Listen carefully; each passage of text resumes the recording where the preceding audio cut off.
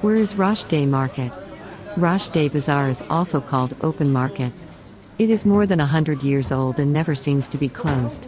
Unlike the exciting Joibar Market, which is held only one day a week, Rasht Day Market is open 24 hours a day, 365 days a year. Life boils in this market and you can feel the energy of life. In front, traditional and happy Gilani music is played in every shop. You can probably only recognize the Aha Bogo and Tibella Sir parts of the songs. Rasht Day Bazaar is a place where you are immersed in the sweetness of the local dialects. Listen and enjoy. You are listening to one of the most beautiful Iranian dialects. This bazaar is about 500 meters away from Rasht Municipality Square, the most famous place of interest in this city. This means that you can first walk in the municipal square and feel the beauty of the square with all your being. Then take your women to the daily market on Imam Khomeini Street and breathe the passion of life with all its dimensions. Rasht Bazaar, or the Big Bazaar of Rasht, is a traditional bazaar that has 14 caravanserais and is connected by different orders.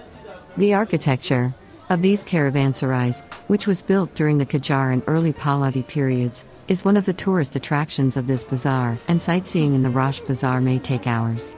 In this market, in addition to various agricultural products, you can find all the necessities of daily life, and also tourists can easily buy all kinds of souvenirs from here. What do they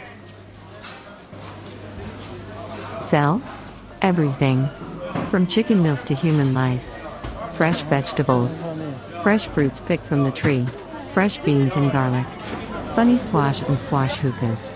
Orange and fresh orange juice raspberries and raspberry jam, and most importantly, fish.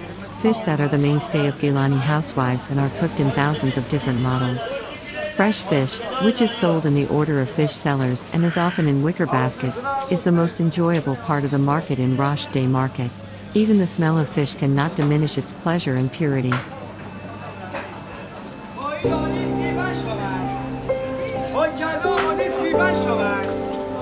تو نمایی نمیدنی که من سیبه شما